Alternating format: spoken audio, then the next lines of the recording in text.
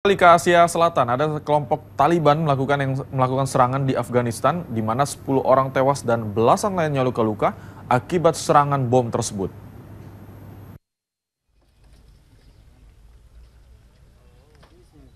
Lubang besar akibat serangan bom bunuh diri kelompok Taliban terlihat jelas di kota Kabul, Afghanistan.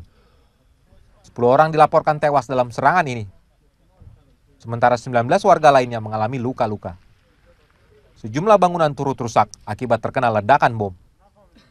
Lokasi serangan ini menjadi tontonan puluhan warga meski telah dijaga ketat oleh pasukan keamanan.